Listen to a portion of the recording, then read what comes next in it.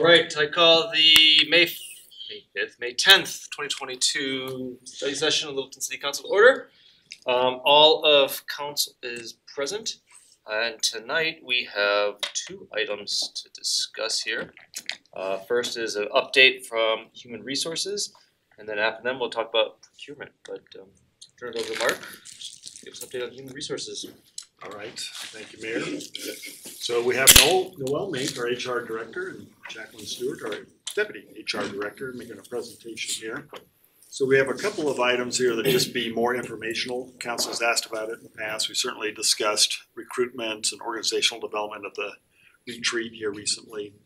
Uh, But we're also gonna talk about um, the DEI issue that the council's asked about starting again this past retreat. So we have a recommendation. So we are looking for a direction from council on that item.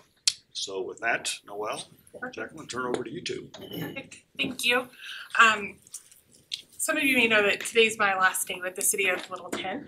Um, and um, I remember my first council retreat with Littleton, and we went through and we had discussion. And one of the things that the council members said was, sometimes it's nice if we get a kudos too. And so I guess I wanted to just say quickly, without being emotional, um, which is maybe a struggle, um, but I've had such a very, very positive experience with the council at the city of Littleton.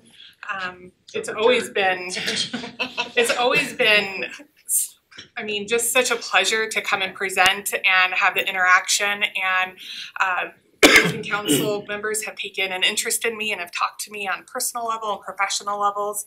And I just feel like I've grown a lot being under the council that I've been under um here and I'm just very appreciative and thank you. And I just didn't wanna let the night go without saying that.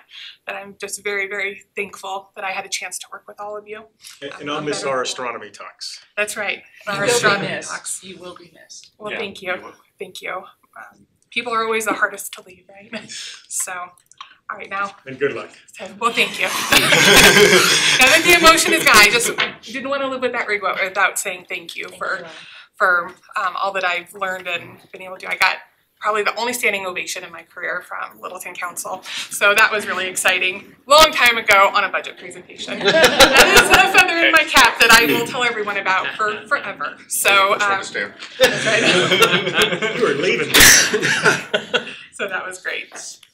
Well, I have Jacqueline with me. Um, she's our deputy HR director and will be acting as interim. So, uh, the great thing about the HR team over the last four years, we've really moved to a place where no one in HR is working on anything in a silo. So the transition has been very smooth and seamless because everything I've been doing, Jacqueline's already been on the loop on. So we talk a lot about the issues that we're gonna be talking about tonight. So I just want you to have full confidence with Ashley, with Jacqueline, uh, with Teddy, who you guys are all aware with now. Um, you're just in very, very capable hands. So we're gonna have these three topics, which Mark talked about. Just wanna give you kind of a state of the city on where we're at with retention and recruitment. Um, quick update on organizational values. Um, you know, that's been a big project that's been ongoing on our organizational development. And then, of course, our diversity, equity, and inclusion, along with a recommendation for your consideration. So our current labor market, as it stands right now, we have twenty-eight open positions in various stages of recruitment. That can be uh, someone has just turned in notice to all the way that someone has accepted a position but hasn't started yet. So all of those steps in between, we have forty-eight vacancies. Uh, we're pleased to say it's down from our highest, uh, where we were at fifty, which is really, really challenging. When we have about three hundred and twenty-ish, um, regular status employees, that was a really big number for us to manage, um, and obviously for the organization. And so we're working our way down and we're getting our numbers down. We do still see these trends with the great resignation of lower number of applicants. Um, sometimes it's very drastic, um, the number of applicants, the reduction. So we're still uh, looking at how we're sourcing our applicants, where they're coming from, who we're targeting, where we're advertising, uh, word of mouth, all of those things. And then we're also noticing that within the applicant pool that we're seeing a lower quality of applicants and we can attribute that to a couple of different things. The primary factor that I would say is everyone's doing what we're doing. We're hearing whispers that someone may leave. We're working to um, keep them, right? Because we know that attrition is very expensive. Retention always costs less, but it's continuity of operations, keeping all that organizational experience. So um, the higher qualified applicants are just being courted to stay where they're at. So uh, we still see that. And then, of course, something that still is this theme ongoing applicants are really, really vocal. We actually are asking questions in the application process about um, hybrid work schedules and what people think about that. And people are strongly asking for either fully remote or hybrid schedule. We've had people when we say, um, you know, right now there is flexibility for a hybrid schedule. Um, if we're unable to give promises or guarantees, people are withdrawing from our selection process. So, or the applicant process. So I think that those are things that we all just have to keep our finger on and just watch how these trends play out across all industries on these. So here we have the open recruitments uh, by department. Okay, you can see a little bit better on that screen than on mine. Uh, You'll notice um that, oh, like, oh gosh, police looks really high. Well, no, they have the most number of employees. So when we look across the organization, it really is kind of the same issue across the organization. Larger departments obviously have more vacancies because they have uh larger FTE counts. So broken down by department, that's that's where we're currently at with our recruitments. Well, what, what position would the downtown city ma- uh, downtown manager, project manager be considered? Is it, are they in that public count? Sorry, Was it Is Public Public Works? Works? Public Works. Not I was communications. like, Public Works or Community Development, I believe it's Public Works. It is, yes. Thank you, thank you for the confirmation, yep. Then we have uh, the compensation update uh, that we wanted to share with you. So you may remember we came back to you um, and asked for a little bit more than what was in the original budget uh, to a 4.25% increase, and we deployed that out to all of our employees in April. And then you also granted us access um, to $175,000 to help aid in retention and recruitment efforts. And we have used some of that money, about $26,000 so far. It's all been spent to retain our employees um, via career progressions. So some of these are new career progressions, some of them are already uh, in place, and we're moving employees through them as a um, method to help retain and to provide people uh, market pay for the skills that they're able to do. Okay, so how does that work? I'm thinking about leaving and then you come and rush and push me up a level and I get more money. I wasn't leaving, but, and, and then the next person goes, well, wait a second, I should do that too. It's in the witch department. And before you know it, everybody's just I hope they're whispering not about watching the leaving. study session. I know. I mean, Right. No, there's a much larger process to it than that. So HR is working with all the department directors. We're asking um in the budget process and then also outside of that, where are your people at? Where should they go? Have they got new certifications? So some of these things, um with there, we've had more career progressions than this. They were just planned for. So there are times though when someone will say, hey, I'm an HR generalist and I got a job offer to be an HR specialist. And we say, okay, so what is the work that you're doing? Could we move you? You meet the qualifications of this higher level job and we ask the real questions. You know, sometimes people say, well, I'm going here because uh, it's only about money for me or it's about vacation time. So we're asking all of these questions. so you have to have an offer in hand before you can negotiate. Yeah, it- Okay. yeah, This so, but we're always also trying happened, to it's be- just more amplified now because of the, the job Yeah, market. and we are uh trying to be much more proactive. So we've done stay interviews with almost every employee. Uh we're teaching our supervisors how to do stay interviews and those are just built into our one-on-ones. Hey, why do you like working here? What else can we do? Is there anything way that we can support you better? Um because our market philosophy has made money not really the driving factor always. Sometimes it is, but not always. It's about opportunity, it's about training, it's about support, culture, how I feel like I'm valued, is my voice heard, uh, what am I able to contribute? So if someone says like, man, I have all these ideas and no one listens to me, that's a problem we could solve here. It just takes some patience, some training of supervisors. Will they be willing to hang with us? So sometimes it's as simple as, um, you know, I'm leaving because you know, I want to accrue more vacation because my spouse is pregnant and I want to be able to take more time off when the birth of the child. Okay, well, we can certainly work with that. That's something that we can do. So uh, we're trying to just be uh, consistent on how we go about it, but also flexible to the individual. So uh, we have parameters, policies that we uh, look at when we say, okay, are we going to adjust someone's leave in a one-time adjustment? What have we done before? Who approved it? Let's talk about it. Will impact other folks. Worst case scenario, right? We do something uh, for one employee that creates like this ripple effect of like discontent or low morale, or drives other people, or creates this whirlwind of other people saying, "Well, me too, me too, me too." So uh, there have been times when we've done adjustments where we've adjusted an entire work group because we felt the market has demanded it, and so they're not asking, but we still have taken the efforts to retain them because we know one person may be leaving, and if we want to retain that one person, we're not going to create another additional problem because we have to think of the long term um, as well as just this immediate immediate piece to it.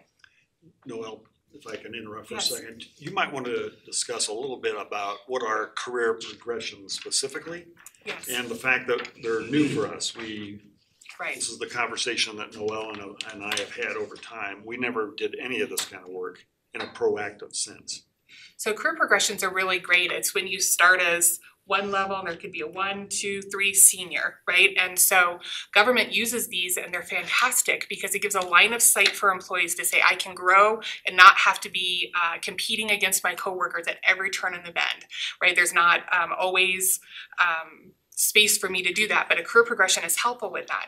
So it is a give and take. So we work with the department director and the supervisor to say what should be included. Some things are really simple, like if you're looking in public works, do you have this certification? Are you cleared to operate these pieces of equipment?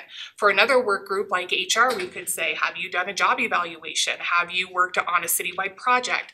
And so when they gain these certifications, uh, degrees, um, classes, experience, uh, that they can articulate and are meaningful, and we put in a document that people can reach those, then they can career progress. Um, and so it's very, very helpful because employees grow, the skill set grows, um, and it has to be helpful to the organization. You know, it's like I could go get my pilot's license and then be like, hey, Mark, make me a senior HR director. He's gonna say, no, thanks, that doesn't really help our organization, we're not flying anywhere. Um, that's not what we wanna do. So it has to be specific where it's aiding the organization as well. Um, government is one of the few places where we have these things and us not using it has been a detriment. So the more we can use it, um, it's also helpful on the finance side because it becomes predictable, right? So if Jacqueline enters into a career progression, then I know every two years or three years for the next three or four years, she may progress. I can put that into a budget document, I can have a request on that, um, and then it becomes more predictable for the budget, which is also very, very helpful. Do we have some data behind the retention rates in terms of like slowing attrition rates from staff using these funds to show that that was an effective way to do that? Yeah, I don't have those, but we can certainly get those to you. Uh, when we have made proactive retention, um, and the numbers are uh, higher than twenty people, certainly. Um, I don't wanna say the exact number, but we've had one person where it's failed. So the retention efforts are working and they're working over the long term, uh, which is great because I think that uh, for us, we're not just saying, hey, it's a money issue, here's more money. We're saying, is is it a money issue and a culture issue? Is it a supervisor and a training issue? So we're really trying to get the heart of the reason why someone would um, consider leaving because we know for us being market driven, uh, money is not always just the most simple answer. It's normally a little bit more complex. Sure. What about like other um cities that are of similar size near us, do you find that obviously we're probably in competition with them too as well, and how are we faring Yeah, staffing we're wise? we're doing much better. You know, I get uh, calls from other HR directors and they're like, "Can you stop? You're hiring our people away, and we can't get any of the candidates. They're all going to Littleton." Um, That's what we say to South I was Suburban. gonna say, we're the bad ones in this relationship. It's I a think domino that, effect. you know, that that's a really helpful thing. I would say that this HR team, we have prided ourselves on being flexible and creative. So we like this thread of continuity where everyone is being treated fairly, but we're open to all ideas. I mean, um, that has just made it very personal for employees and then it's also given the organization a lot of ability to just very quickly navigate through these things to retain people. Um, you know, obviously our foundation is total comp. So the foundation of total comp, our benefits and our pay is outstanding. We're in a very, very good spot for that. So then it comes to this place of culture and uh, how employees feel about the work that they're doing. And um, we've grown so much in the last four years in that area. So it's been helpful. Right, I'm gonna let Jacqueline talk about um, this area. This is exciting. Um, Jacqueline will give you a little bit of background and then talk through our values. You may remember um, three years ago in the budget process, uh, council approved hundred and twenty-five thousand dollars and then a second appropriation of $75,000 to work on organizational development. In your packet, um, there's just a ton of information about the classes. Uh, when I first came, we did classes. Maybe I'm not quite sure how to say it. It wasn't very robust. It wasn't very man- many, and it wasn't meaningful. And so the uh, organization here, we have worked to really strategically. We interview all of our stakeholders of leadership every year. We ask what problems they want to solve, and we use our training division to help solve those problems. Um, and it's become very, very robust. You may have seen we've taught 62 classes last year, our first year out of the gate. So employees are really benefiting from it.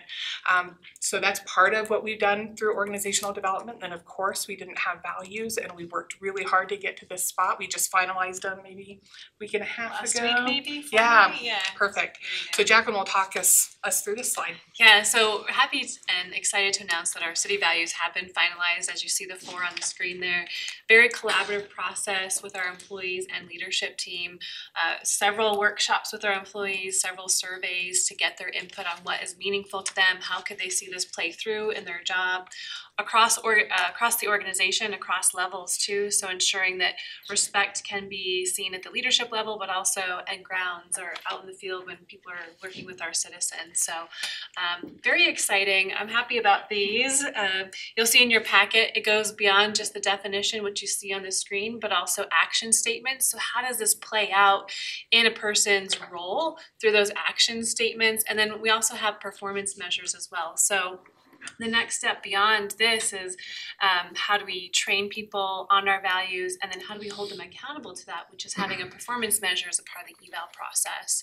So um, go to go to the next slide. This talks about what our next steps are, which is branding. So we'll work internally with our communications department to create graphics that symbolize what each of those values look like.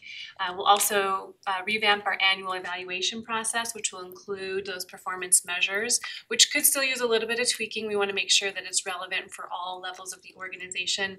And then we'll also work on training. So what is what do these values mean? How what are the tools that we can pro- provide our supervisors, our employees so that they can live through those values in their day-to-day activities? And what happens if you have a values conflict? Say your um one of our values is first rate service. Well, what if you have to say no because you can't do that? How do you work through the conflict of that value and ha- and uh, work through that with your supervisor or your team? And then when you're when it's on your eval, if you have to speak to it, how can you have the uh, I guess the background to talk through those conversations. So we'll continue to work with our vendor that we've worked with in the past, CPS, who've seen us through up until this point with our mission, vision, values work to help us customize that training. We'll also work internally with um, HR and hopefully some uh, employees. What we can do a train the trainer program as well, so we can get them to uh, roll this out to the whole city. It will be values training, customer service training, as well as some project management training such as uh, agile training is what it is. So um, that's a work in progress. We're gonna get uh, input from, I would say, our leadership team on that, as well as our lead team, some employees for that. And then the next step beyond that is once we have all, all of everyone trained at the city, how do we incorporate they incorporate this into onboarding? So living our values, uh, attracting talent, interviewing, the whole onboarding process is really going to be influenced by these values as well. So that's all in the works. Uh, I believe actually next week we have a, I have a meeting with a couple people, CPS including that, to get that up and running. So more to come on that. We have a team of leadership and employees that are gonna help us to to create our new uh performance evaluation. Our current one is pretty cumbersome, it's really, really long, and that's really prohibitive in people doing an evaluation that's meaningful. Our perspective, my perspective, having our values and having certainty that every employee can connect themselves to a city council goal is imperative. Um, those two things are just so important because when you see the work that you do and how it connects to a city council goal and what it means for the community, it makes your mundane tasks meaningful.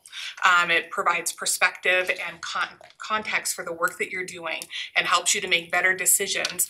Uh, the values say, this is how I will do my work, and then the city council goals say, this is the work I should be doing. Because we can all get sidetracked, and I mean, I could say, we really need a training program on X, Y, Z. And someone should be saying, how does that connect to a city council goal? And do we? Is that the most important work that we should be doing? Um, and I think that if we ask a lot of our employees, they would not be able to articulate where exactly they connect um, to those city council goals. So having those two elements together will help for make a meaningful um, performance review. We want it much shorter um, so that it, it can be timely. Um, you perhaps could even use it more than once a year, um, um, but it, that it will be meaningful to the employee, a real reflection of the work that they're doing. I think that's awesome. What is the tools training agile? What is that all? So that's um a tool IT uses, I'm looking over there at Ashley. Um it's a project management philosophy on how you can move projects through. It helps you manage your capacity, but there's a whole set of language around it. And so IT will say things and they're like, hey, in this sprint, and everyone's like, we're running, we're outside, what are we doing? But a sprint has a really specific meaning in that agile. So we're looking at uh, a program that would give us all common language. So when I would say, hey, that's gonna be on next week's sprint, or in two weeks, we'll add it to that, everyone's like, oh, okay, great. So it's just a tool for how we can manage our projects, our capacity, where the whole organization is on the same page, um, because we miss that right now. Isn't that kind of an old organizational culture though, the lingo? Yeah, well, it can be, it depends on what we choose to use. I mean, I think at this point, if we just could select something, I so mean, that we're wouldn't all think that's speaking the something same new. I mean, it's good to have and know Yeah, what it is. Yeah, no, it's definitely not in- reinventing the wheel, it's just good solid practice to have people trained in these things. Um, certainly. Before we jump into, yeah, I just, you know, I can't help myself, I just love this topic. You know, I think, um, you know, I've been pretty committed to this issue here ever since I've been here. And, you know, we've talked with council many times that every organization will have a culture. It's whether or not you decide you want to kind of somehow shape that or steer it. And so I think we've done some really hard work trying to kind of point this organization in a direction largely around customer service, in my view. But I think raising the awareness and everything that Noel just shared here about how we connect their work to ultimately what the council wants accomplished in this community. It's hard work, but I think it's a, a very solid strategy. There's tons of books written on this topic. And it does, in my view, present employees a clear vision of what's expected for them. It helps retain employees over time. When they understand what is the vision here, where are we going, and they understand how they connect to the whole, whole thing, it just builds a much more positive, constructive culture. And quite honestly, it's a great place to work when that is all accomplished.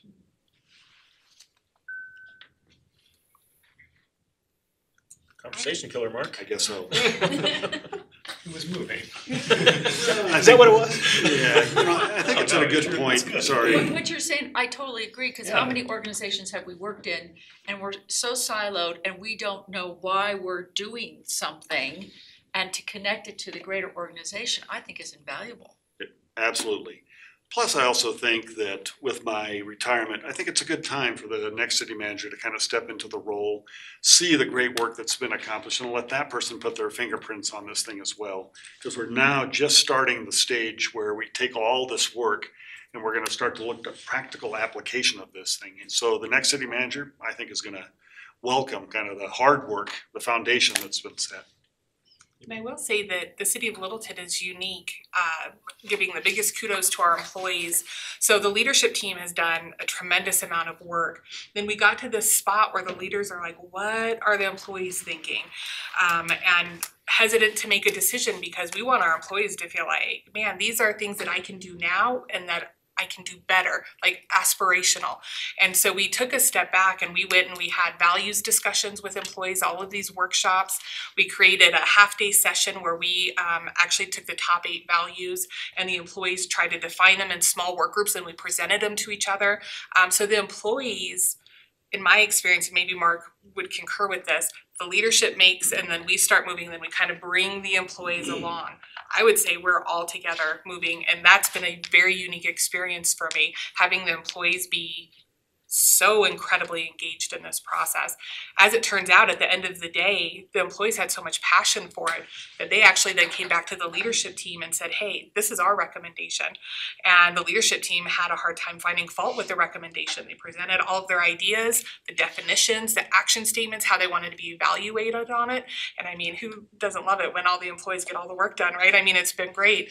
Um, but it has been a unique experience for me to have the employee base so engaged in a process like this. And I think that is a hats off to this organization because I just don't see it. I don't know, Mark, if you're, ex- this has been a unique experience for you as well. I agree. Okay, yeah, I think, so I think that bodes well for us as we start uh wanting to measure different things or do different things, that the employees are really plugged into this process. Alright, so our last topic is around um diversity, equity and inclusion. Uh, so I put in the packet a little bit of background. So a lot of times you see an organization say, okay, let's really start meaningful work on this topic, and they do a search and they find a consultant and they start doing the things that we're about to recommend. Let's do a formal survey to kind of capture the status quo where we're at, the current state. Let's get some action items. Let's see what we can do. Let's really dive into that. Um, Littleton, not surprising, we took a little bit different approach. You know, when you do that really formal route, it can be really time intensive. So the organization isn't feeling, seeing, or doing anything with this important topic because you're doing all this background work setting the stage.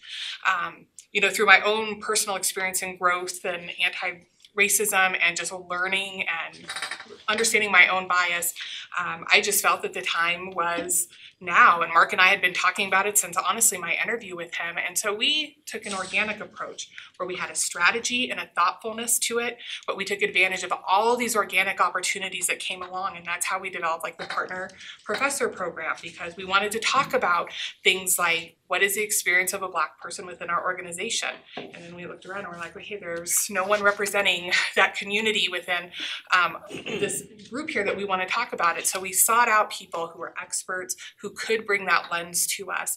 And so we took advantage of all these organic opportunities to just try and help our organization kind of get on the same page. Like our first class ever was uh, breaking the bias, and the whole class is about this is the definition of bias.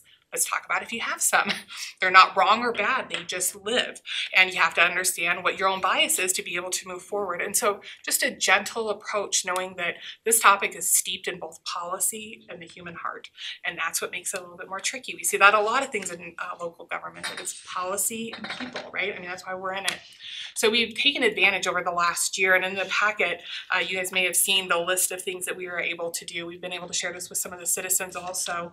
Um, just a lot, a lot of things that we've done uh, through this organic process. We've had our strategy kind of in the background, um, and the strategy has changed a little bit. But I think that Littleton's at a crossroads. The organic process is only going to get us so far um, because we need some skill sets that we don't have employed here. And so I think now is the time we have this momentum with us talking about it. People are more comfortable with it because um, it can be a scary topic, but we have done it in a gentle way where employees are engaging with it. Employees want it. Um, they're attending all of our classes, selling out all the classes where we have things on microaggression or bias. Uh, they're attending them in droves. So our recommendation is um, that we hire a qualified DEI consultant uh, to first conduct an interview and then do a survey. I think that the um, survey is most important at this stage of the game because it really will capture where we're at. They'll talk to employees, citizen members, council. Uh, they'll take a look at some of the things that we're doing and will let us know exactly where we stand. It's my belief um, that you know this topic can be scary, but we're doing a lot of things that we maybe don't even recognize. If you ever have a conversation with Nancy Trim or Tim, the work they're doing in this area in their two departments is just absolutely phenomenal. I mean, really interactive work on their policies, uh, the way that they're approaching citizens and uh, community members. So they're kind of leading the way in this area, and they're already doing a ton of the work. They're doing formal training within their professional organizations.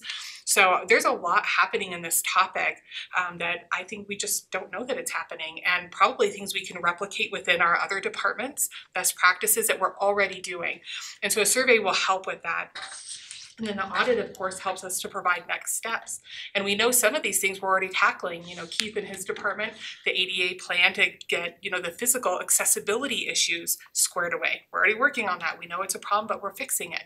Um, so it, it will just be a good place for us to acknowledge the hard work we've done and then also to provide next steps forward.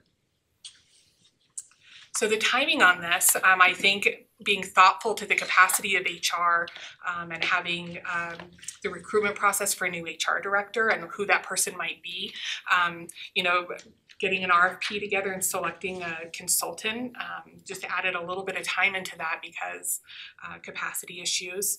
And then potential costs, uh, I would anticipate between twenty and fifty thousand dollars for this consultant, depending on how robust you want them to be.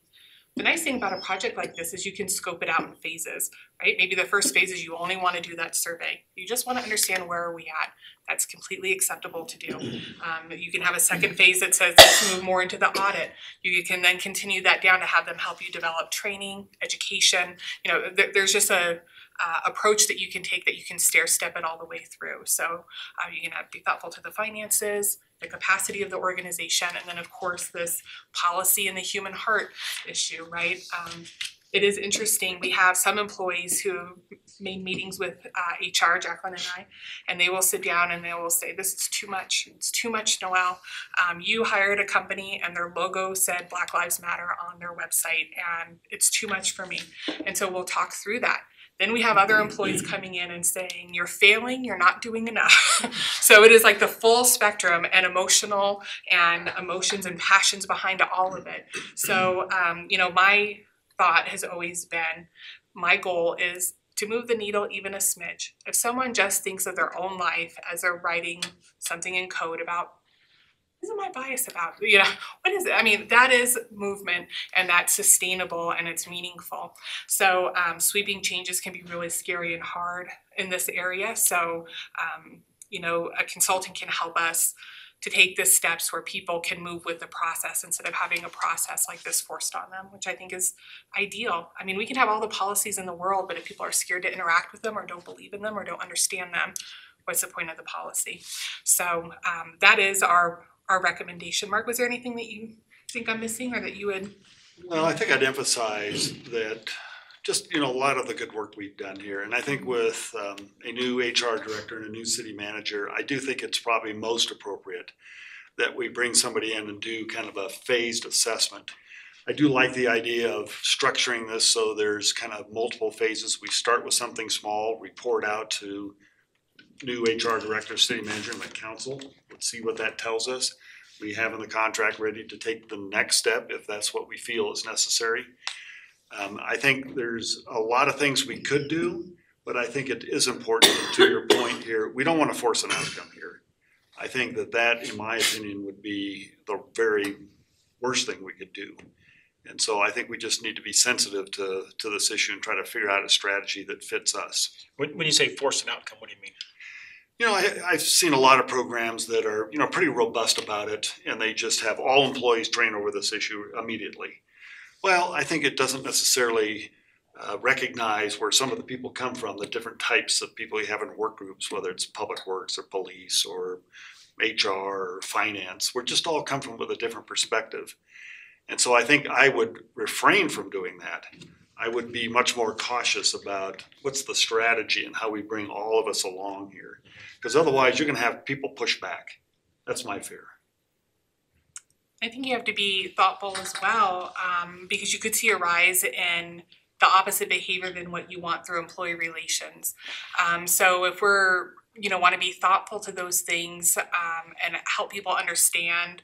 Uh, so for me, like, I think a great class would be, um, looking at the scientific, uh, data points of all the studies that have been done that says why inclusion is better than not having inclusion.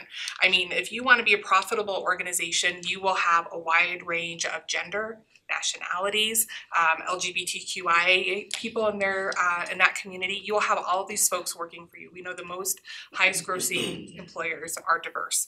And so what does that mean for local government? What is the benefit of saying not everyone looks like me? There is benefit to that. So let's really start talking about why diversity matters and how it can be impactful to the work that we're doing. Most importantly, our, our community members.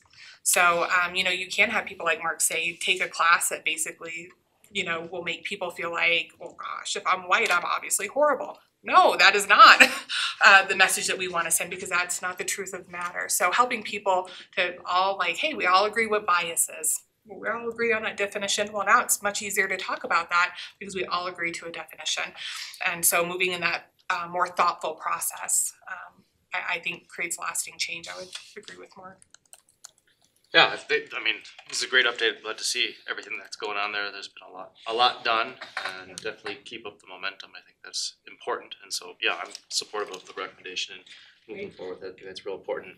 Adds to the, you know, the robustness of the organization and the culture we're trying to create, so. Has this already been part of the budget that's been approved? No, it has not. So this is an addition. Correct. This would be something that would be considered here for this, I guess we could start it here this year if we wanted to, but, um, you know, we'd put it into the budget process normally here for us to kind of take on. So this will be for the fall. I, I think we, my suggestion was, is that we probably should look to the fall.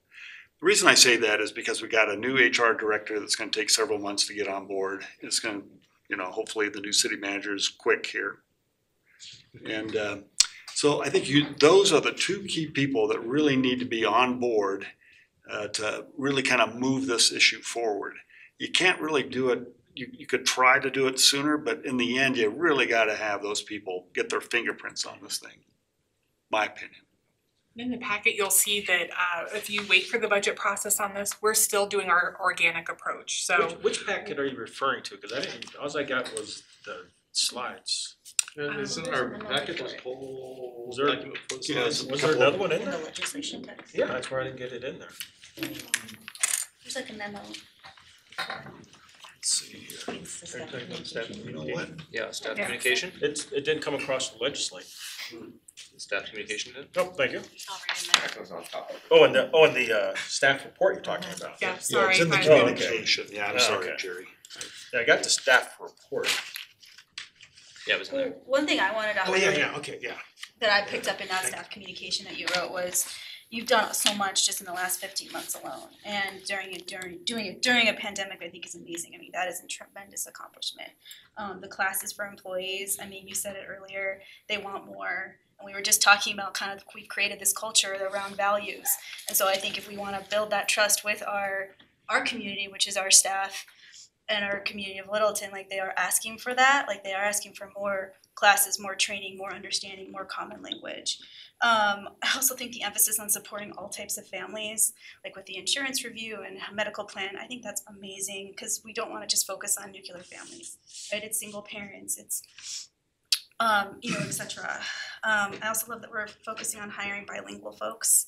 Anything that's going to increase our ability to communicate with our community, I'm fully supportive of, and I love that that's you know an emphasis. Um, I want a DEI audit. I do want that. I want a plan. I want that survey especially. I think a survey is going to give us data. And I know a lot of us here really like the data. We like to look at the facts. So let's listen to what our employees and our staff and maybe even members of our community are telling us so that we can better inform our policy decisions. Uh, Pam, to your point, uh, yeah, I think it's going to cost money. Um, and of course, I think that can make some of us who've had reservations in the past about spend, spend, spend, um, think twice about it, and that is part of our job. I do think it's a long-term investment in our future. I think it will pay for itself. You know, Councilmember Grove and I, we attended the South Metro Denver Chamber, so the business people, they hosted an event on diversity, equity, inclusion in business in the Denver metro area, and they said one of the things that, you know, folks we want to attract people who are diverse because we know that's going to create a robust, healthy community. Well, those folks who are diverse, they're looking for things like a plan. They're looking for a survey. They're looking to see our words and our actions align and match. They look on a website. They look in press releases to see is, hey, have they act, you know, they put this in their goals. Is this in their goal? Is this in the vision? Is it, and you know, inclusion is now one of the values. Like, I love that. And I, I think having like a formalized, pulling all of this together and if even if it's a phased approach, great. Somewhere we can pull it all together um, so that we can attract that. I think is going to not only increase um, our community here in Lake Littleton, but also like grow our business, our business footprint. You know, making it more diverse and you know, preparing us for the future. I think so. I fully support that.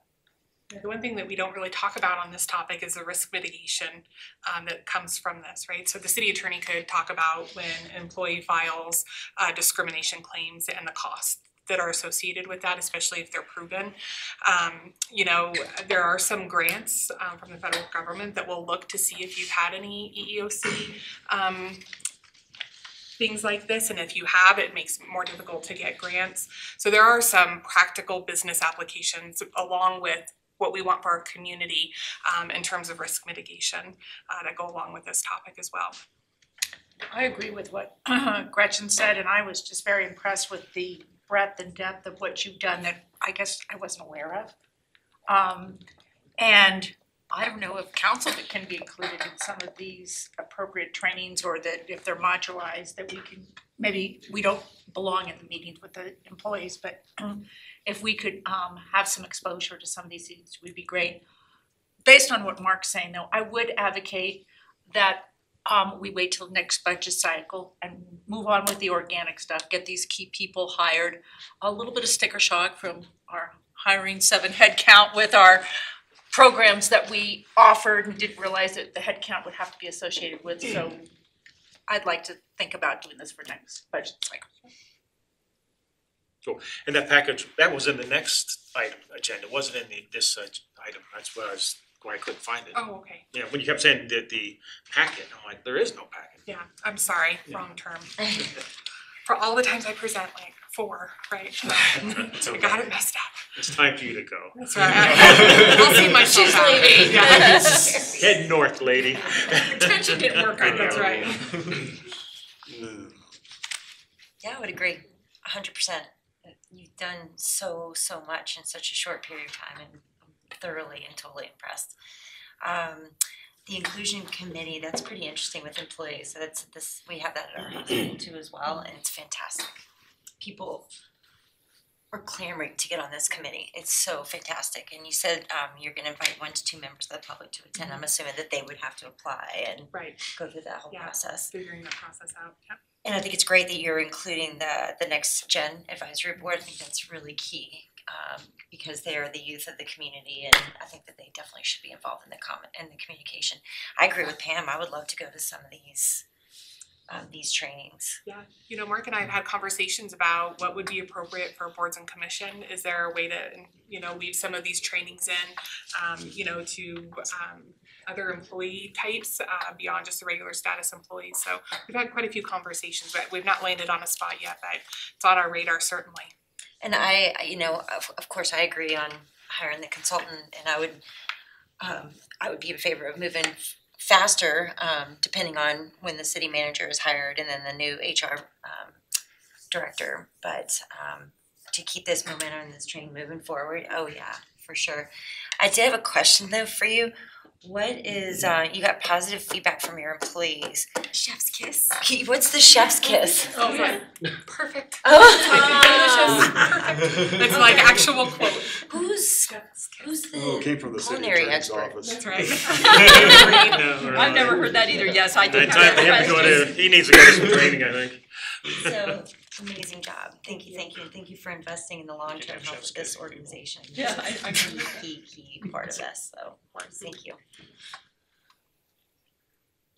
Any other, any other comments, Steve? I, you know, wanted to say too, I appreciate the work that you guys have done and I agree that like a slow and and kind of continuous sea change of having these ongoing trainings and educational opportunities is fantastic. Um, I'm really interested in seeing what kinds of policies uh that, you know, where there is potential for policies and what you guys may have come up with your review internally Mhm. as well to to direct the consultant, cause uh, you know, I agree that having a survey and an audit of current practices is is really important. Um and I think the ongoing training and education is something to stay. But also I think fe- people can grapple with these things when they see a very tangible change in a city policy like a maternity or paternity leave policy or a medical uh benefits change is very tangible and real. I think that also um quite honestly keeps us in the game, you know, going back to your early part of the presentation on employee retention, because Right. a lot of employees are looking for these things. So I I would say, you know, in the process of formulating an RFP to uh, you know, have at least some policy directed outcomes and Agreed. kind of quick wins as something that's very visible for the employees as part of that scope. Um, but yeah, I, I'm I'm in support of it. I do think as well that having a city manager and HR director Mhm. on board to help shape and craft that RFP uh, to give some insight there is is important. Um, so, but you know, keep on keep it on in the meantime.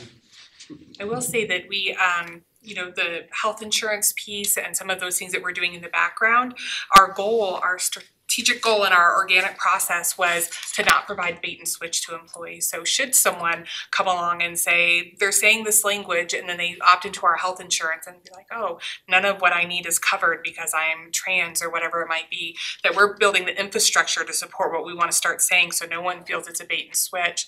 And we actually through Aon, which is one of the largest uh, benefits consultant, worked with Cigna and we received the highest rating in being inclusive with our health benefits. So that was a huge feather in our cap. I should have included it in our, Yeah, that's something to be not the proud of. packet and the Yeah, they said communication. we were leading the way, we were Yeah. very impressed, Leave yeah. with that. Yeah, so that's been exciting. Uh, Carrot, which is about family planning of all types of family, including, um, you know, uh, being able to freeze your eggs to have family down the road if you want to be able to prepare for that, has been really successful.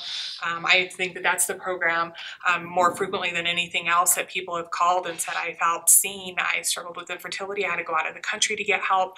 I can't believe the city is doing this. This is, I'll never leave because, I mean, and it's just seeing people as people. So it's been a really, really great outcome. We uh, did it in a roadshow, and we actually had people speak up during the roadshow to, you know, a hundred other employees to say this is fantastic. So we got some wins in there.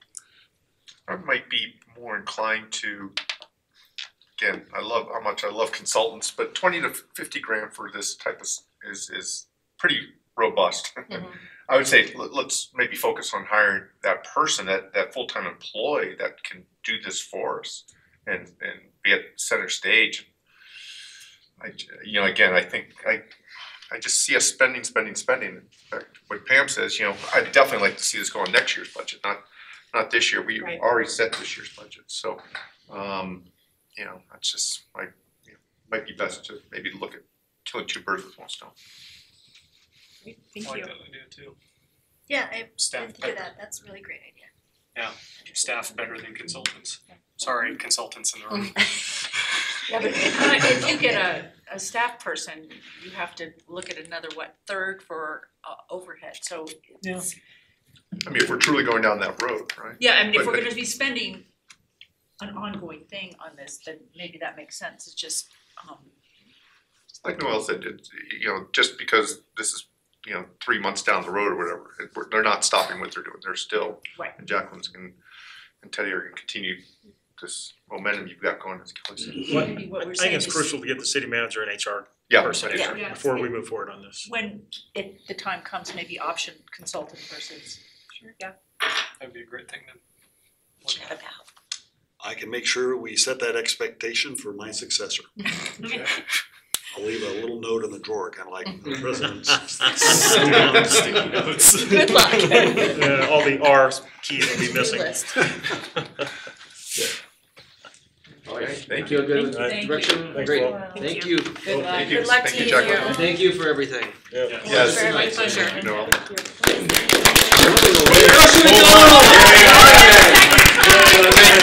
I think Steve's gonna first, that's that guy.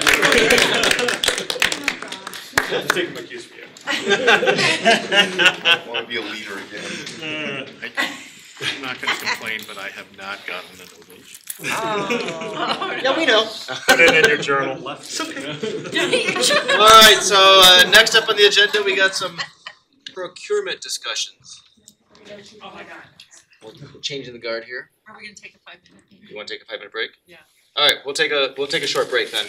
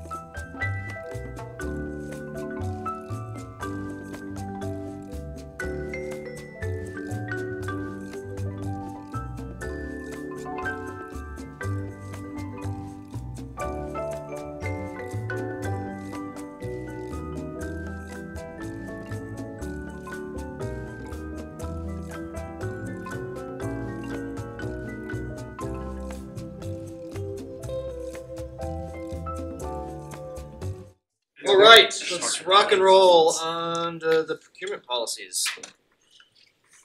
Turn to Mark. Mark, you can confirm. Yeah, um, so Noel set the bar. You're- You hopefully will get a uh, standing ovation here. He does not look too confident. I wouldn't, I wouldn't count on it. I've been here nineteen years, I have yet to get a standing. Yeah, Oh, well, then we can just. I'm not standing. Ouch. Not even a full one. I think we should do that every Every, every meeting, every, yeah. Talk about retention. Let the record show Valdez did not stand. You gotta earn it, dude. Oh, oh, that's rough. That's right, she's out of here. Well, let's see, this, this is, um, for some, this may not necessarily be the most exciting topic, but for those of us in the organization who live this every day, this is passionate about it. this is kind of our bread and butter. I mean, this is, once the council obviously sets the direction, your goals, then we go out and execute that. And so many times it ends up in procurement. And I'm not sure if Dave, we'll make some introductions here. Yes, but- yes, we will. Yeah, so um we have reinvented a lot of this here to the fullest extent possible, but we got some real hamstrung issues here with both our code and our charter. And so this is an opportunity for us to kind of brief you on that. And I know as the council later this summer will consider a possible charter amendment, so we'll talk about that. But we again do have some code issues that relate to this thing as well. So fascinating topic, I'm setting the stage for you guys, hopefully. Alright. Get ready. Okay, Ashley, go ahead, Well, please. thank you, Cancel. I'm Ashley Bolton, Admin Services Director, and Tiffany Hooton, our Finance Director, I know you know, but would like to also introduce you to Dave Ems, who is our Procurement Officer. Slap in the face. Jerry. Saw leadership, bathroom break. So, Grandstanding. so Just ignore the city attorney. All right, there we go. Dave joined our organization actually about two and a half years ago. I had a posting for an IT management analyst. And bless his heart, he saw the word procurement buried in the job description and said, hey, this looks interesting. And it intrigued him. We got a conversation going, found that we knew similar people. The rest is really history. Um, I'd love to give Dave just a quick opportunity to tell a little bit about himself. Um, Sure. Be glad to. Um, grew up in Littleton, Columbine High School graduate. Yes, they had a high school back then. You know that's not Littleton, right?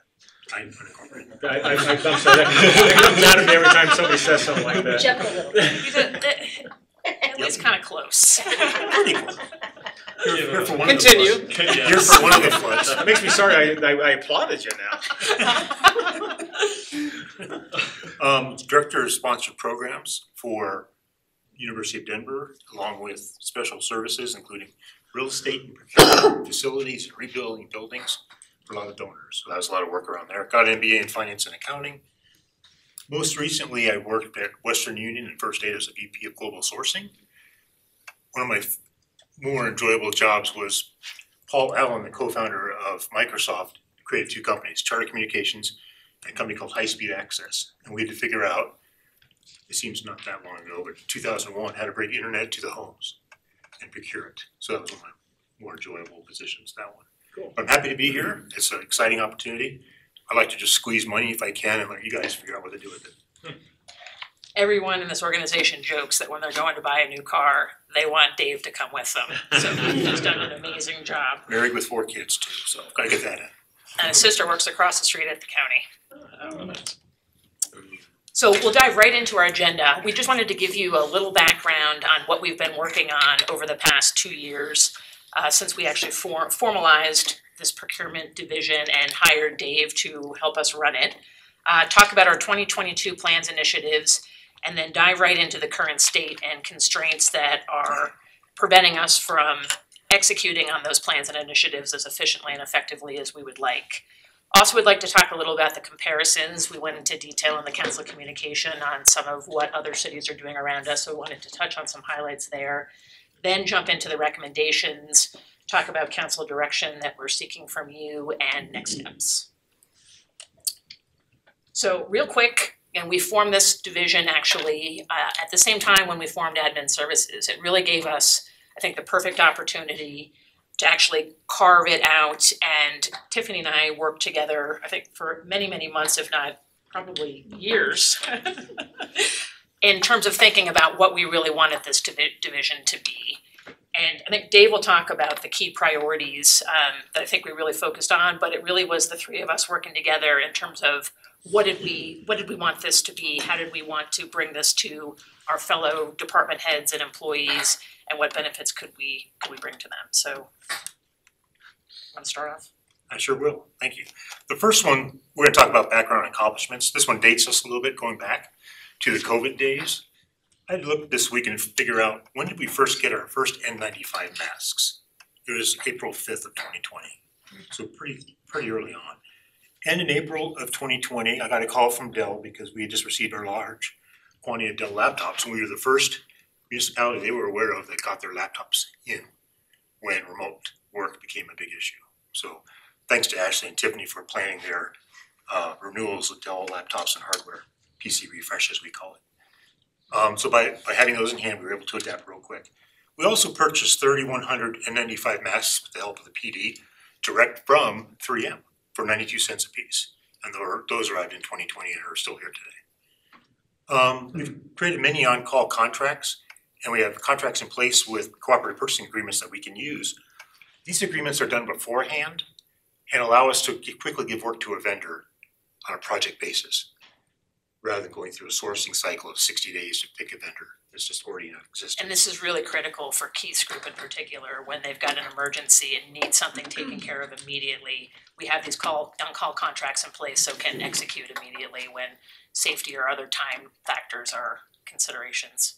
Yeah, for Keith, we did the Bemis roof replacement and a farm project to upgrade the electrical out there. Um, we also have sole source justification process where we can go when there's only one supplier or one product that can meet your need. And we've written them in several cases. One was for the PD, for the Axon body worn cameras, I'm sure you're aware of. Uh, PD, PD's mobile command center.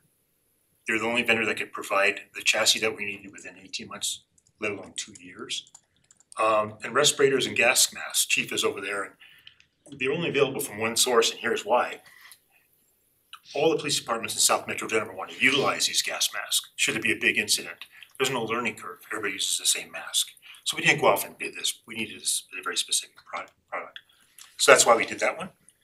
Um, turning to twenty twenty negotiated savings, since then, about seven hundred sixty thousand dollars in savings. I went back and looked, about half of that is ARPA money.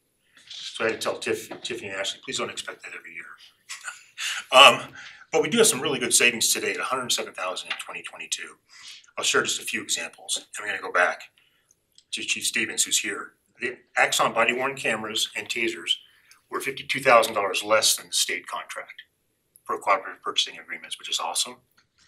Uh, we had had another save, you guys were aware of the PD's mobile command center. I'm sure you all approved that, we have a negotiated save of thirty-four thousand, I got challenges to get that under to what you approved, and we were able to do that.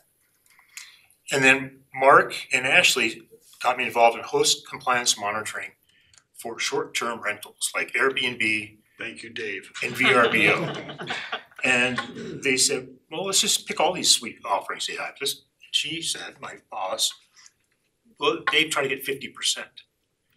Very luckily we got it, so that was ninety-seven hundred. And Tiffany's really good about throwing invoices over the fence. And and when she threw our way, actually it was a ten thousand dollar cost reduction from last year. It was for Sage Benefits Messenger, it has been a very high pricing tier for the size of city that we are, so we have a savings from that. Before you move on, uh, that STR compliance, we have that in. For host compliance, we are working on implementing it right now. Jen Henninger's team is taking the lead on that and working with Tiffany's group as well. So we're trying to see, yeah, the cost benefit of, Dave got us a fantastic deal to kick the tires on, get it up and running. We actually were able to get the full suite of modules to see which ones may really provide a benefit. I think one of the ones we were really interested in was the kind of investigation arm where it could actually go out there and help us kind of scan all the different websites and identify folks that weren't in compliance and hadn't registered with us. So we wanna see how well it works before we renew it next year, but Jen Henninger's team's in the process of implementing it. That's wonderful, that's fabulous, thank you. Sure. So now we're turning quickly. Oh, and real quick, just on this, I think, I know this was very hard to read, but I think what we wanted to show and illustrate was Dave started out in IT, but when we created admin services, put him in a position to be procurement officer for the entire city. And he's done just a fantastic job with really trying to get reach out there and work with all of our departments across the city. That's why it's a fine job, you get a lot of visibility. You know, it's not a large corporation buying with pencils all day, so I appreciate the breadth. So you're more than just charts. Those aren't my Yes. charts. Those work charts. I like to hunt for the gold and throw it over the fence and let somebody else add it up. I'd rather be the miner. So here we're going into an inter- interesting one for twenty twenty-two. Plans and initiatives, continuity of supply in a seller's market. I don't need to tell you, it's getting more and more difficult to find vendors due to supply, and of course, the prices are going up and up. I wanna give you just two quick examples. We have one with uh an RFP out right now for our water resource master plan for a consultant. Twenty-year project, help us figure out how to conserve water, ensure that we have water in twenty years. Reached out to one vendor last week and wanted specifically them to be included in the proposal, and they wrote back, given our current commitments, we're unfortunately won't be able to respond to this RFP. We're starting to see that. The next one is last year, we had five bidders bid on replacing our sewer lines. This year, we had one vendor bid, and that bid on a per foot basis is thirty-seven percent higher. Public Works can't accept it. It's supposed to be low price, we had, we had to cancel all bids, reprice it, get budget approval for the revised scope. So that's another example. Later on, we'll be talking about some recommendations, I think, that will help ensure what I call continuity of supply, that's really a supply chain term, but that just means vendors are, are gonna be here. Ashley, do you wanna talk Yeah. about ERP? The next one I think we really wanted to talk about was accelerating again what we're calling the digital transformation. I know you guys are probably getting sick and tired of hearing about this, but we still have a lot that is paper-based and particularly in the procurement area, we do a lot after the fact. We use purchase orders like pretty religiously in in public works when we're dealing with our development projects and such, but the rest of the purchasing that we do across the city, it really is not proactive. And where we lose out in that is that we're not really aware of our spend until the invoice comes in after something has been bought. And trying to use the ERP to get more proactive and use what we call requisitions, which really means I'm just requesting to buy something upfront. We get the approval upfront, we make sure we have the money upfront before we buy something. We're able to properly categorize what we're buying so we can track more more detail around after the fact how different categories of goods and services are actually trending cost wise. Um, we're hoping to do that upfront. It also, again, will give us that visibility to the funds that we've encumbered so that we know again what we've spent and have more real-time data on where we are. I think Tiffany knows more than anybody. Right now, we're typically six, at least six weeks behind in terms of where our actuals are. And shifting the focus to make things more digital upfront using the ERP. It's gonna be a huge change management curve, again, for our employees who are used to doing everything after the fact. Uh, but we're gonna be working on that as part of the ERP project to really get the education out there. Get people to understand how, hey, we're just shifting the work up front instead of later on. And also getting all of our managers and leaders on board to really understand the benefits of having this data up front and how that can help them. I think in addition to that, one of the things we were struggling with was again, just trying to again, look at the trends of what we've been spending and where it's, where it's been spent. And we just don't have a good grasp on that data today, given that it's been more reactive. And so again, this digital transformation again will really help us try to see also more where we're spending, give Tiffany more flexibility in terms of, I think, managing our budget more timely throughout the year versus what it seems like we do right now is we get to December and then, oh my gosh, okay, we do have this money, well, what can we go out and use it for? We can do that throughout the year with this more digital proactive focus around our purchasing. So you're saying that six week delay is because it's not being booked until the invoice comes in? So there's that, but also our P card, how we have it in such a way right now, it doesn't integrate with our general ledger. And it's a very manual process that has to go through these approvals and then ultimately get booked by Tiffany's team after all of these things are done. The ERP will allow us to actually do that real time and have our transactions booked to the GL pretty So much the within. P card is by department? Uh, well, it's it's our, it's the card that we, it's basically our credit Personal, card it's like a- and Right. Correct. And so specific people in each departments have So by the time they turn paperwork in, you're already lost a week or two and. And just the timing in terms of how the statement closes. We have to wait for the statement to close, then wait for everybody to review their transactions, upload their receipts, approve them. That adds more weeks onto it, and then it takes Tiffany's team a manual process to actually get that information booked up into our general ledger so that we So as six weeks department later. heads finally see the Tiff, this is why we don't numbers. stand sometimes when we. It's it's not her fault. Tease out, tease Not her you know, Ashley talks about the ERP and, you know, we, we just have a limited system right now. And we've done the best we can working around some of those limitations, but an ERP is really gonna allow us the ability to to get real-time, re- live data in our system immediately, so we don't have to wait these, you know, four weeks, six weeks to get it posted to the More GL. efficient.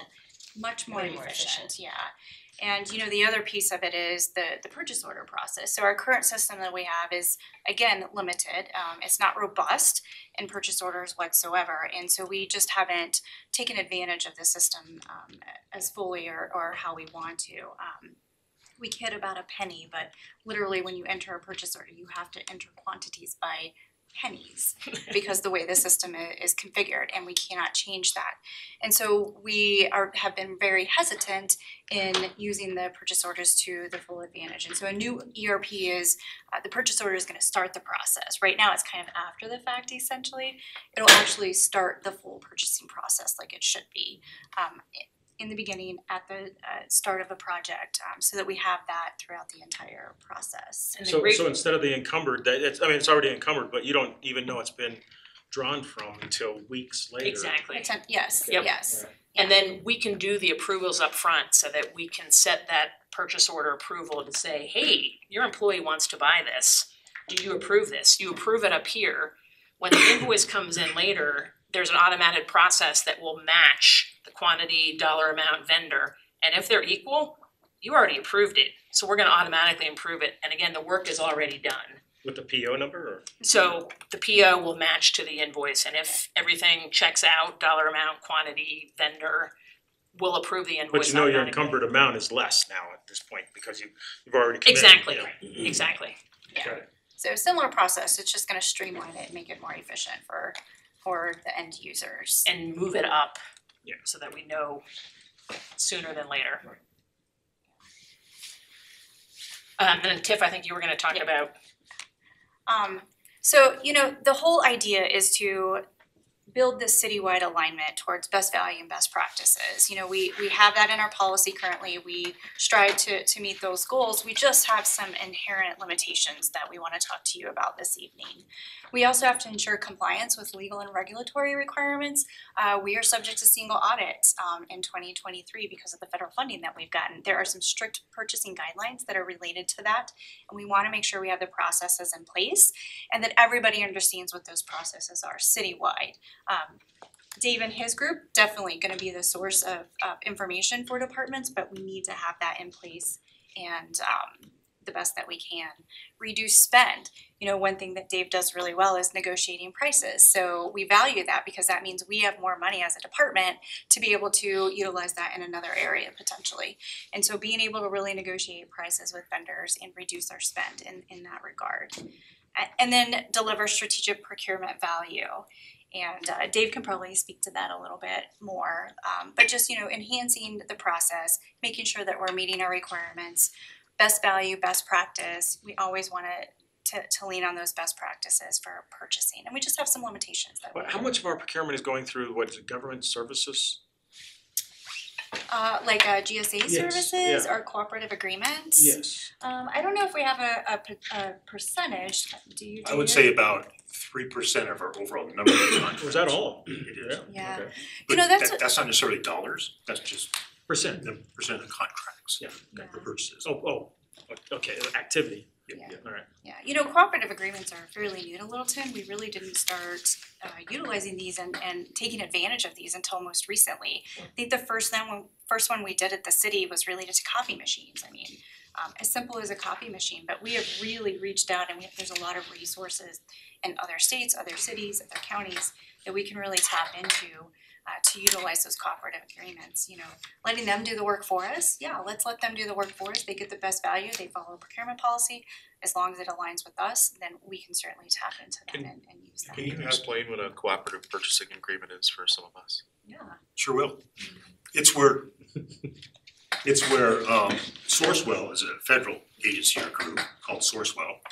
And cooperative purchasing agreements were started by small municipalities banding together to get pricing discounts and bulk discounts.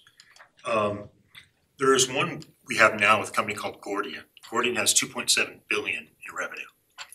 They have over four thousand line items, like if you need electrical engineer, grade three, five hours, it's a fixed price. In Colorado, there's a table, and we can contract for that right now. We did it to build an enclosure at the courthouse and revamp all the electrical in at the farm. So there was no bidding there. The rates were good, we could go with them. So we look forward to utilizing that. Because Keith does need that quick solution in place to get those contracts done. But essentially, these groups have banded together and have gone out and negotiated the prices already mm-hmm. so that we don't have to do it ourselves and we can piggyback on their already negotiated prices. And only three percent of our contracts are going through there. Just started. Wow. It's Yeah, definitely an opportunity that we Yeah, like to seek. say so. And one of the actual code changes that we wanna talk with you guys about tonight that is prohibiting us from using some of the cooperative agreements that are out there. Yeah, I'd say a lot of the cooperative purchasing agreements are for a five-year term. And one of the code provisions that you'll see that we have is we're allowed to utilize agreements that have only been made within the past two years. So there's some that, one year, is it one? So there's some that we just actually can't use that pricing. So it obviously leads to a burden on us as we have to try to secure our own pricing as opposed to just using something where another governmental entity or another participant has already secured the terms, already secured the pricing and just utilize that. Is So that that's where what, we're getting our blanket purchase purchases from? which, which purchases? Blanket purchases agreements, are we going, doing it through that? Blanket There. purchases, we view as differently, like we might have a blanket order with a company for product and services throughout the year of supplies. But it's a little bit different than co-op. Okay. You know, we could get contracts like Chief Stephens Axon contract, if we do a really good agreement with Reid and we put it all together, that can become now available to other entities. Other That people they can piggyback off of us now. Right, yeah. Okay, gotcha. So I'd like to jump in if I can. One thing, quick thing I wanted to remind You remind may not. everyone, just that, also too, it was on the previous slide, but everything that we're trying to do really ties into council goal number two and number three, which is our financial sustainability and innovative infrastructure. So just wanted to remind you that there's that underlying theme, everything that we're talking about. Yeah, so the next three or four slides are basically, what are our rules today in a simplified view? How do we compare with other cities, our size in our region? And then what are our recommendations? So first off, you'll, see on this chart, the five thousand and ten thousand dollar figures represent at what purchase amount are required to go and get a bid? Wired. Five laptops total eleven thousand dollars, whatever it might be. That's the amount, the amount we have to go out and get a bid. Um, if we're procuring a capital asset or contracting for capital improvement project, we must go out to bid if it's five thousand. If it's for supplies, materials, or equipment, we have to go out to bid if it's over ten thousand. Now, when we think about both of those categories, capital, supplies, equipment, and um service, um, s- materials, thank you. All of those are now subject to the lowest price. So if I asked all of you to sell me a lawnmower, you, we would get an envelope from you, it would be a sealed bid in an envelope, and you could come and open it up at the bid opening and realize who won. And that's how it is today in our charter and code. Um, And it might not be the best quality. absolutely. But our charter says the lowest and best value. It says lowest So it and doesn't mean we're taking the cheapest. Best bids. It says thing. best bid. Is it bid? It says best Oh, it bid. said value, okay. We would, we hope it says value. That's where we're. That's what we're hoping want. to clarify Alright. and change the language. Because there, there's a lot of factors that go into something other than just lowest cost, you know, Absolutely. whether or not they're local, whether or not they can provide it to us in a timely manner, the level of, you know, quality in terms of the good that we're receiving, Expertise. references, the ability for them to actually perform the work i- in a good way in other locations. I mean, there's a lot of things that go into that outside of just lowest price, So you so. don't wanna accept my five dollar uh lawnmower, the push lawnmower. got one, I'll give you five dollars. Unless it's part of the health plan. But that wouldn't meet your statement of work anyway, some, you know, piece of garbage Very- lawnmower. Very interesting question. Um, I'd like to give an example down the road. We have also services don't have to go out for bid. So again, if we're hiring somebody to help with the downtown improvement district, that's a service with Brad at Puma, we don't have to go out for bid for that. Same for the recent, I think you approved it last week, the open space trails recreation master plan. We're gonna RFP it because it makes sense to RFP it, but we don't have to. Um, and currently, we must go out to count, to council for approval on any contract longer than two years. Um, from my perspective, the original charter from nineteen fifty-nine and the code changes from nineteen ninety-four hinder our ability to do best value procurement and ensure the most efficient use of taxpayer dollars. And I think Tiffany might have an example or two. Please. Yeah, um, it, this is a very simple example, but, um, it's, it's, it's live, it's what happened, and we had to deal with it just based on our constraints and our purchasing policy. Um, so we, you know, we have a tent that we go out and put up for events throughout the city, year over year over year. We really needed to replace that tent. Um, sounds very simple, right? Go out, find a vendor, get a quote, um, purchase that tent. But because of the constraints of the five thousand dollar limit, um, we had to go out for an RFP or a bid for that capital asset. We had an idea of how much it was gonna cost and it just happened to be more than five thousand, less than ten. Um, but it's still considered a capital asset because it, its life is more than five years and it's more than a thousand dollars. And that's kind of how we define a capital asset. So what, what we had to do is we had to draw up an RFP or a bid for this particular tent. We had to put it out in RMAPS, which is the system that we use that is, uh, all vendors are, a lot of vendors are members of. And we had to allow time for vendors to re- respond. And lo and behold, we didn't get any response. Um, because it was so specific for a tent, but it was a capital item, so it's mo- it, we were required to go out for a bid. So what we ended up having to do is, this process ended up taking about three to four months because we had to draw up the bid, we had to go through the process, we had to open the bid.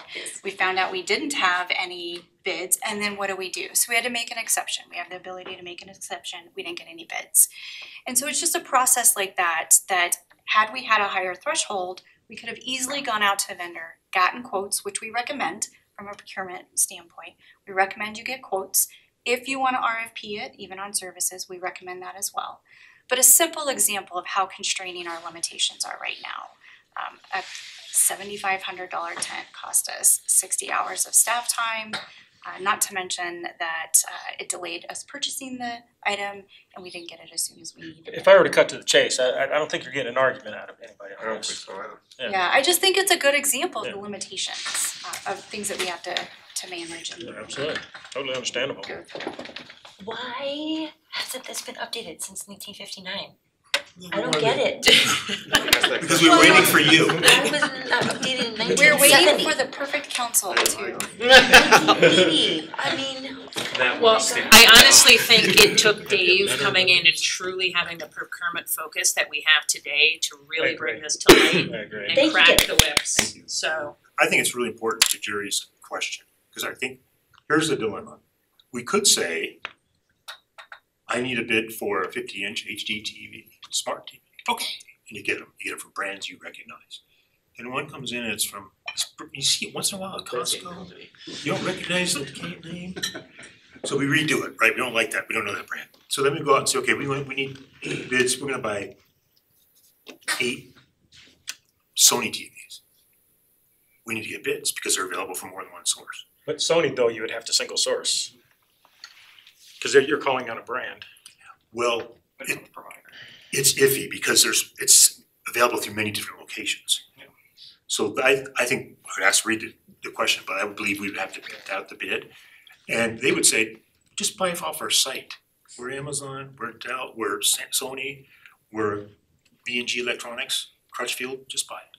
So that's kind of a dilemma. I'd like to jump back to comparisons. I appreciate your question for nineteen fifty-nine. We'll see how we stack up. So we reviewed and compared procurement policies for seventeen home ruled cities in Colorado. Littleton by far has the oldest procurement regulations dating back to nineteen fifty-nine. We're first in something.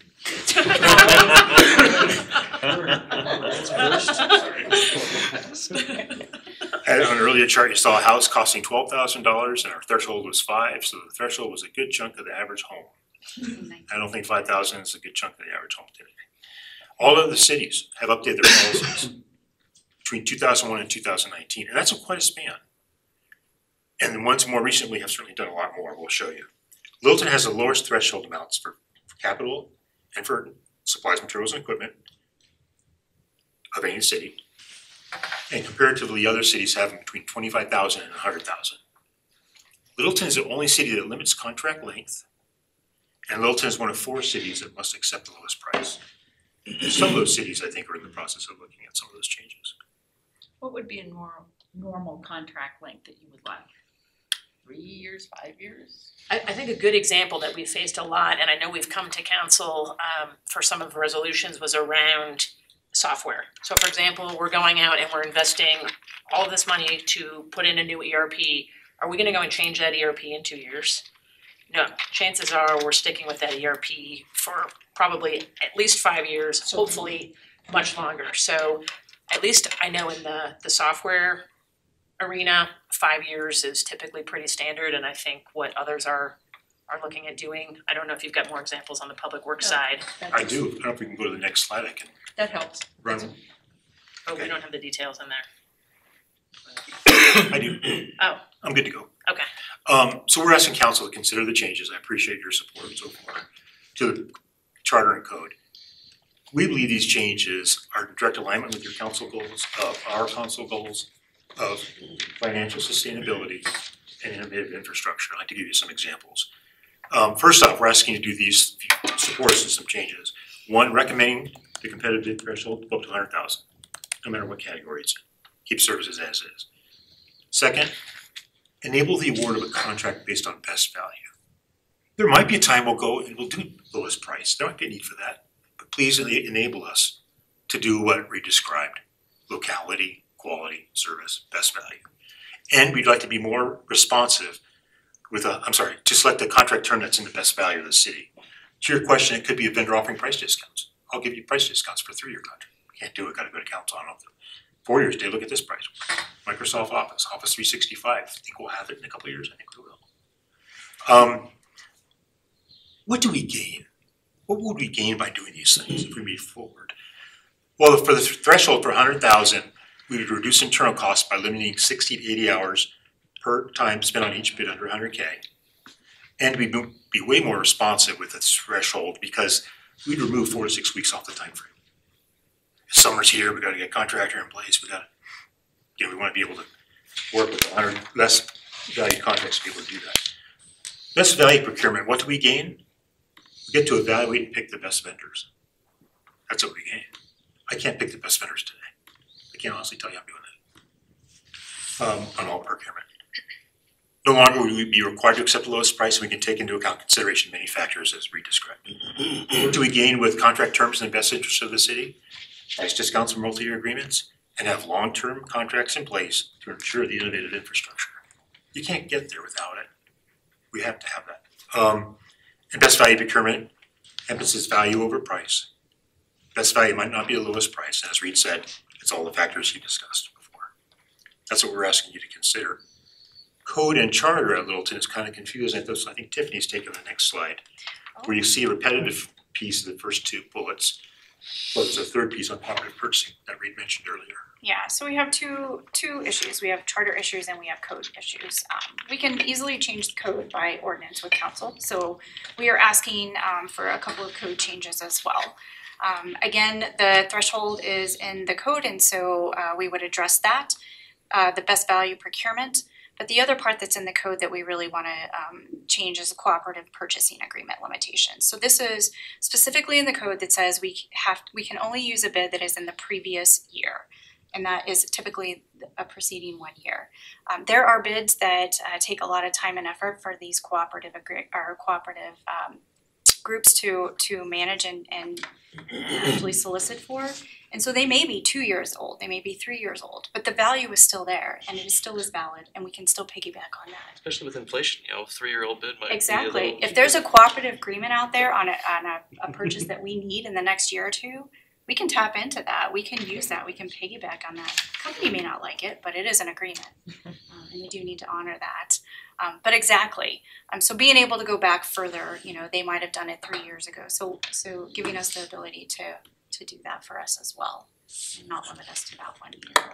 Are the code changes contingent on the charter? Cause I mean, we have to go to the ballot to get it changed in the charter. Can we not do it until it's approved? There are And s- And that's not that easy to do. Right, no, yeah, I know. Um, you know, really the ballot questions are gonna dictate what we can and can't change in the code. There are uh some things in the code that we can address immediately regardless of a ballot question. Um, but it really hinges on the on the charter. Um, that threshold, that dollar amount, that five thousand dollar amount is specifically in our charter, so can we pull that out? Can we put that in an ordinance? Can we put it in the code? So that you as a council can make a decision um uh whenever you'd like to. Tiffany, I'd like to just add, I think, I don't know which one of the staff added the second bullet up there, but I think it's brilliant. It wasn't me.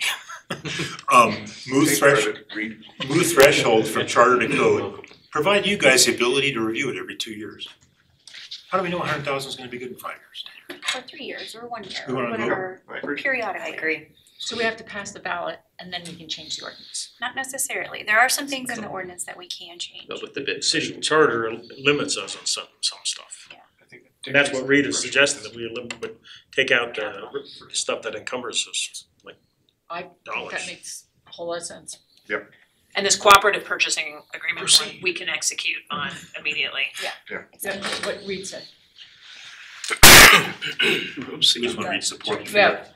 I put We it agree. in one.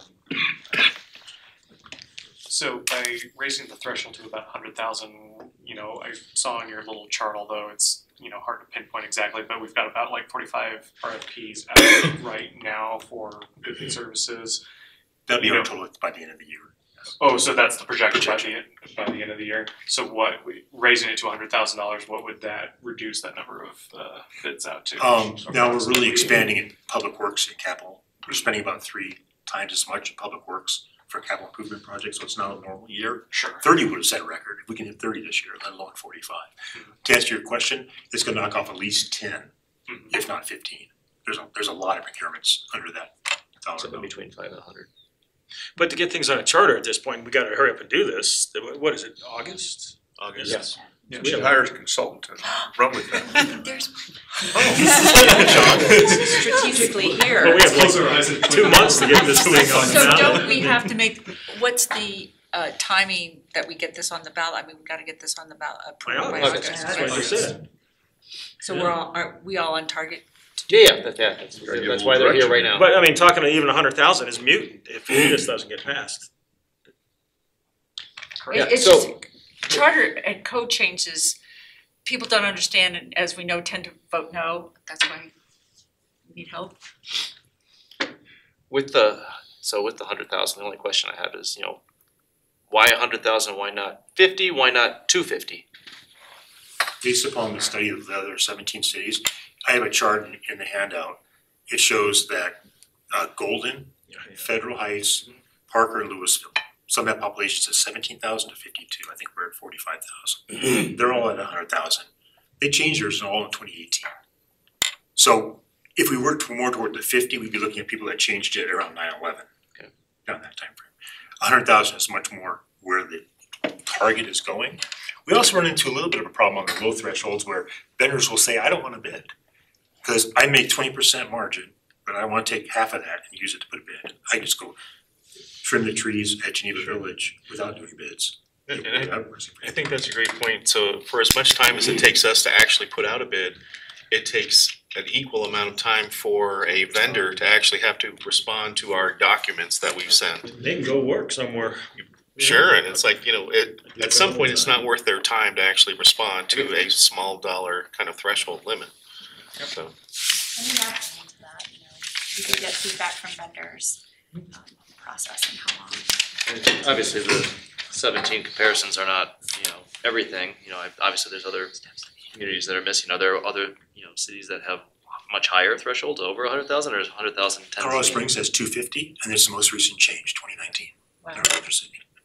When we look at cities of our size, is that what you're looking at? Yes, I am. Hundred thousand. And are there some cities that don't even have a requirement? I only came across two, as prescribed by council wouldn't be very smart. No, I'm not, but I'm It- it- Like Rifle, it's maybe Steamboat Springs, I can't remember the two, as prescribed by council per year, by year. Sharon, I think that's a question that council will actually have to weigh in on is, do we wanna put it at the hundred thousand that's being recommended? Actually put that number into our charter, raising it from five to one hundred or ten to to one hundred? Or do we want to, you know, you know, if we had a consultant to kind of query this question with our our constituents, it would be, you know, how does it look if it's blank? How does it look if it's as set by city council? We mm-hmm. remove that five thousand or ten thousand and just put in there as set by city council, and this is something that council can revisit from time to time. Or do we just wanna put the number in there? I was gonna say, or can, has anyone ever tried tying it to a percentage of the city budget or the actual like volume of procurement? As in like, for example, it can be a moving target year over year depending on the size of budget and and percentages. I don't know that I would, I, from my, my opinion, I don't know that I would wanna do that because it, I think it just adds confusion to staff and That's fair what's enough. that, I was just what's that curious. limit? So if you keep it standard, mm-hmm. And you're saying we can, it would go into the code, we would review it every two years? Slapping a child. or however you, you, you wanna set that. So, whatever. so you know, we mentioned the five thousand and the ten thousand, five thousand for capital and ten thousand. So the five thousand is in the charter, and that's what we're talking about. The ten thousand is actually in our city code that says we can change that every even number year. Okay, Uh, so we would wanna align that with that language that's in the code currently, or it's in the charter, but by set by code. I don't know who's in charge of the consultant, but it seems to me something that we could be, Change look order. at. Change order. Change order. Actually- Change orders, what do you, Who's in charge? how's all that play well for you? Oh, once we have a contract in place, we're, we're putting Yeah, it then you do a change order. We can, but let's say Chief Stephens over there hires five officers, new officers. And the council just approved a five-year agreement for body cams and tasers. We can't go change that per code right now.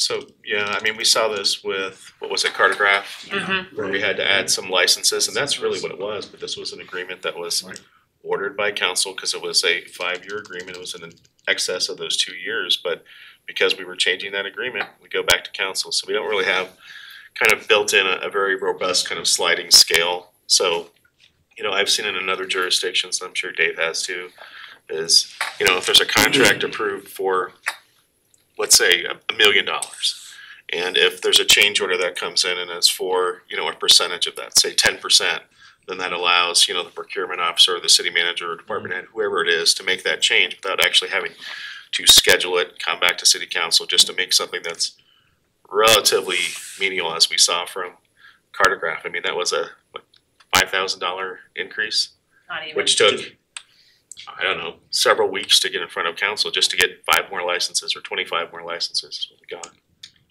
My No, guess is Well, that was Mark's fault for not getting it on our calendar. Yeah, I wanted to, but Reid said no. My guess is that um if we have to go to ballot, that we're gonna have to, we do much better with an amount. That's my guess, I don't know if it's worth Well, considering to see what the public thinks. I think that's, that's gonna be one of the issues that mm. we're gonna report back to you on. So we are poised through our consultant to test that question. And I, that's good. I think the direction, in fact, there's the next steps, thank you. So Ju- July twelfth is when we're gonna come back, our consultant is gonna share the results of what they've discovered on that issue. So after that, when we get into the de- decision point in August, you'll have to decide, is it a dollar amount or you shift it out of there into a different approach there? Can you briefly touch on the contract length too? It looks like we're the only ones that put a limit on it.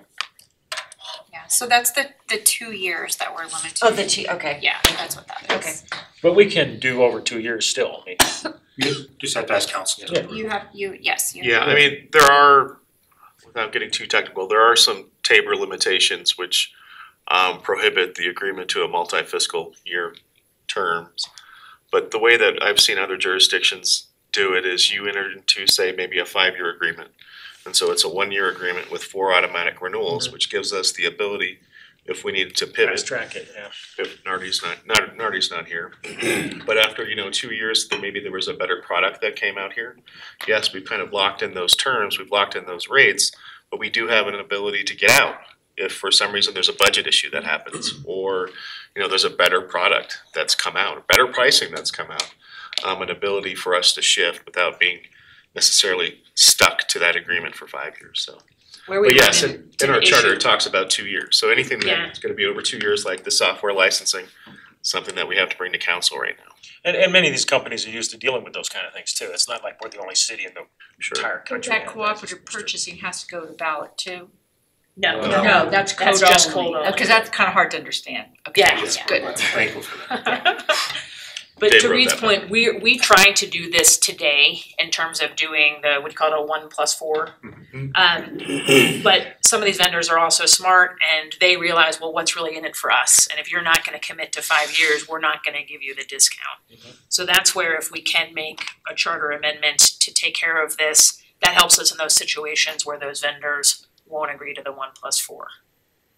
I think Public Works again is another one that faces this all the time. Auto AutoCAD said no to the one point.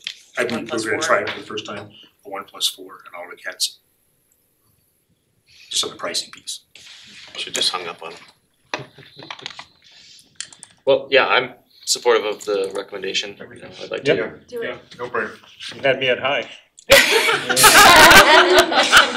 Great discussion, but Not Ti- not Tiffany did, But did we need it, huh? That was great. No, very good. Thank you for bringing us. Yeah. Appreciate your time. Yeah, yeah, thank you, everybody. Thank you. Is that it? We're done? Well, we got city manager, any update? Well, wait, Tiffany, yeah, Tiff. Why did Jerry give it his own innovation? Appreciate that. right, I'll be uh, here all night. Yeah, yeah, be here all week. There's a LPS board meeting uh for East Community Center on Thursday evening, just throwing that out there to folks if they wanna participate. When is that again? Uh it's uh on the twelfth, this Thursday, um at five P M for the uh, Steve Barkon. development of the East Community Center, Steve Barkon. so What time? five. Fine, thank you. Nothing from you? Nothing from me. City attorney? Uh, Councilmember Barr took all my time, so. Right, Steve, Steve. Yeah, Steve! Alright, uh, we're adjourned. Adjourned?